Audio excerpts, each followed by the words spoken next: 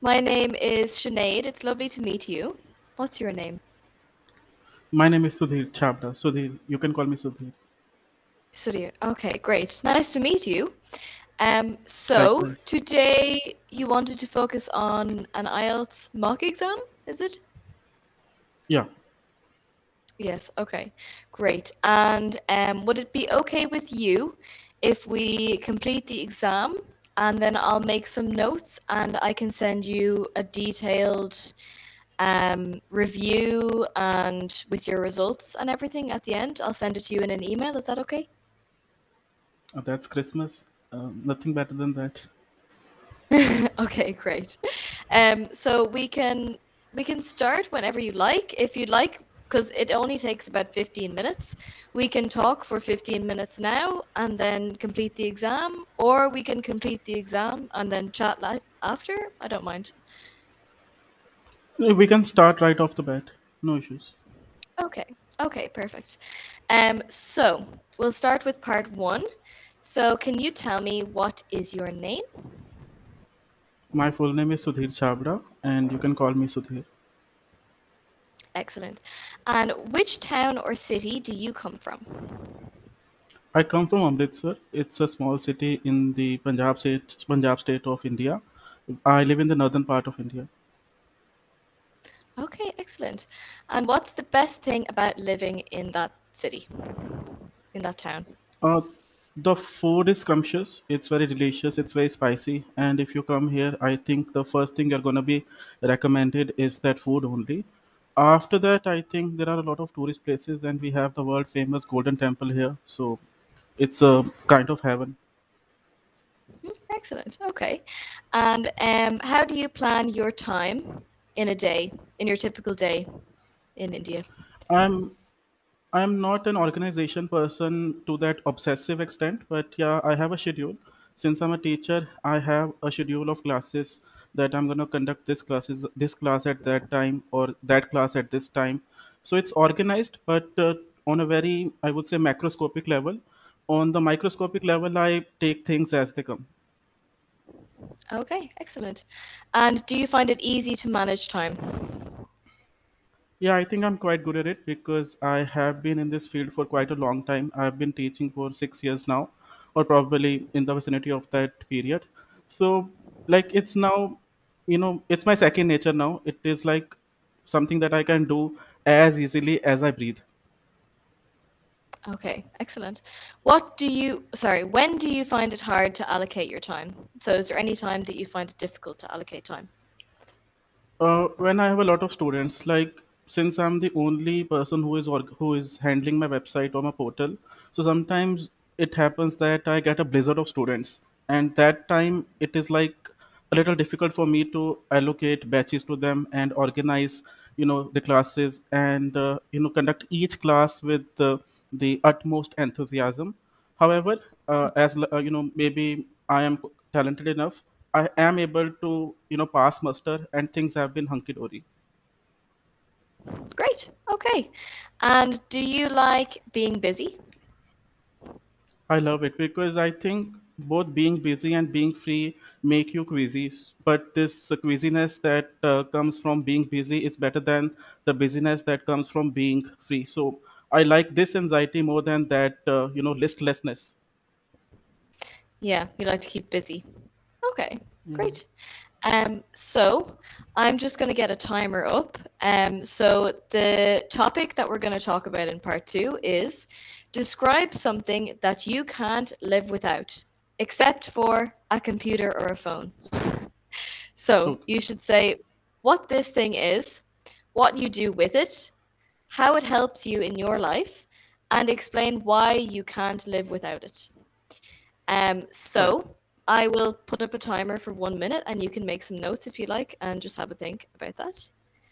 So your timer starts now.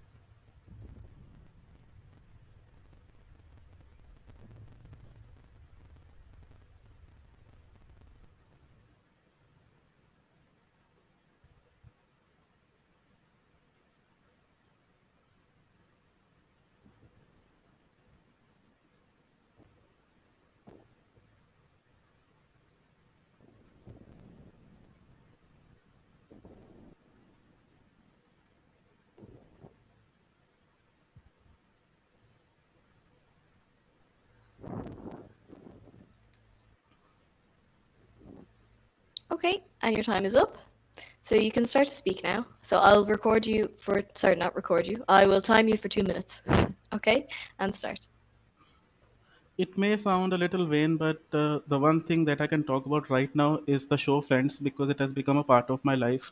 Whenever I'm free, I watch Friends. I have completed all the 10 seasons, you know, maybe 10 times now, but still it is as fresh as a daisy. I go to the first season as soon as the 10th season is off. And uh, it's a soap opera, and it was there, uh, you know, in the past, but now it is now it is available on Netflix and I watch it whenever I'm free, whenever I'm eating, whenever I'm, you know, perhaps in a bad mood. It is going to please me, I know. And that is because it has a character that is as zany as I want to be. The name of the character is Phoebe Buffay. I love her.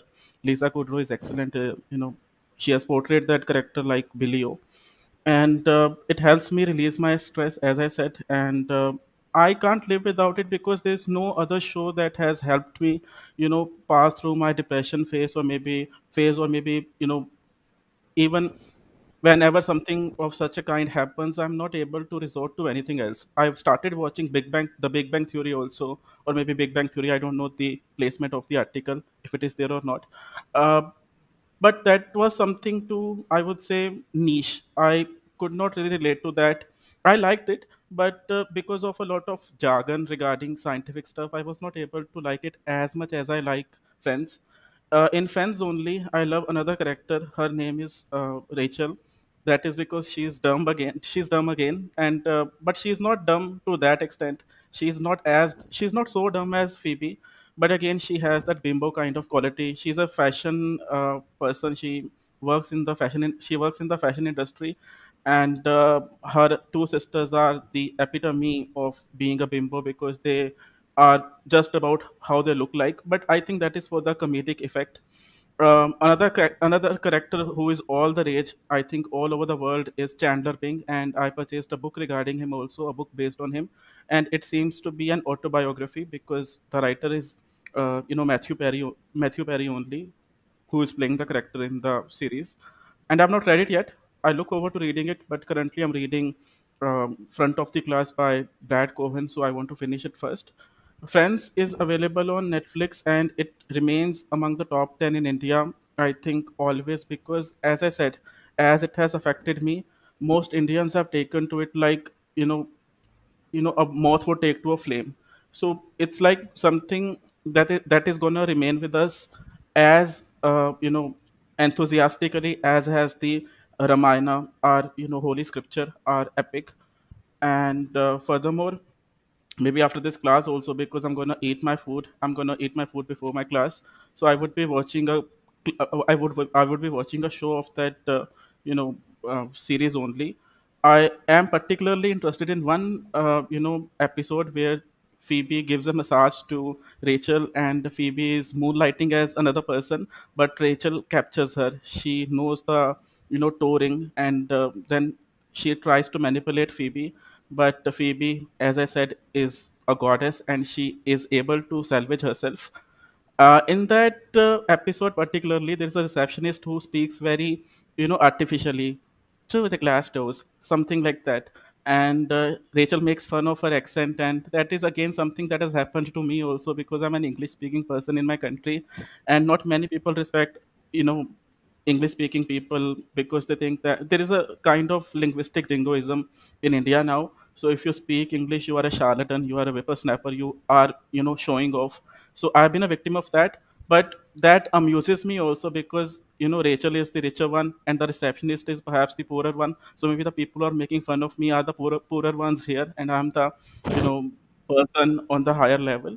And uh, in that show, I think there is another element that is you know something par excellence i do not uh, actually you know remember that now but again there are so many episodes to look forward to and even if i'm not able to come across one particular episode that is gonna you know uh, tickle my funny bone right now i would watch any of the episodes that are there because i think each of them is a gem and uh, being you know an, an admirer of the show i can uh, use any of the gems right now Okay, excellent. Um, very good. Um, we went a little bit over time, but that's okay. I, I got a lot of information, so that's good. Okay, excellent. Um, so wonderful. So part three, I'm going to ask you a few in-depth questions about things that we can't live without, stuff like that. Um, so why are children attracted to new things? What do you think? First of all, they have all, uh, you know just entered the domain called life, and uh, every new thing is gonna attract them, and that happens to the adults also. Whenever we come across something, there is a kind of awe that makes us go toward that thing. And for children, I think almost ev- almost all things are new. So that human instinct of exploring things and uh, being able to get into that zone, you know, are the things that they you know succumb to and they just uh, want to uh, tamper with the thing right away. Yeah, okay. And why do grown-ups hate to throw out old things like clothes? Maybe because they've known the value of money. Uh, as we grow old, we get to know that life is something that is not any kind of a miracle. We have known that we are just a species, and uh, and when that magic goes away, when that Zaza Zoo goes away, we are not able to come to terms with the fact that okay, there's a God or there is something mystical that is gonna value our living here, or maybe life has any special meaning. Now we are all about uh, making things last as long as possible. So we eke out resources, and uh, we are able to you know save money by that of course so we just want to make our existence easier and in order to make that existence easier we have to have a lot of money if we keep throwing away things we are going to have to buy new ones and new ones are going to cost us more for that we have to work more and working is not going to make our lives easier so just to make it comfortable while we live we keep all things as for as long as possible hmm hmm And do you have anything in your home that you have had for a long time that you value? I value everything. I'm an old person. Maybe I'm I'm I'm 27 years old, but I think like a 72 years old because I've had some rough times in my life, and uh, now I'm not excited about life. I'm just passing it. The thing is that um, everything that pertains to me is only there because of its usefulness. It is not there because of its uh, maybe decorative elements. The T-shirt I'm wearing perhaps is about four years old. The headphones I'm wearing are about uh, eight months old the laptop i'm using is perhaps six years old or perhaps you know everything is x years old here. I am not into buying new things a lot. I buy exams a lot. Till now i passed more than 50 english exams and that is again by virtue of that uh, you know um, making life easy thing phenomenon. I want to be i want to remain sellable and i have to make a portfolio that is going to keep me sellable uh, for throughout my life. And for that i have to have a you know profile that is second to none. So suppose at a point i passed almost all english exams in the world which you know now are at 52 or 53 perhaps i will remain uh, you know commercial till my death and that is going to earn me money which is going to make my life comfortable as was the uh, aim in the previous question or the question before that. So like here it is all about uh, the utility. I am not afraid of the futility at all both utility and futility i know what what they are hmm Okay, okay. And um, hmm, what do you think influences people to buy new things? For starters, when the old things are worn out, they have to buy new things. For instance, your car is not working properly, or maybe your uh, shirt has had uh, more holes than you know adequate. Then you're gonna buy something new in that regard. Uh, apart from that, competition.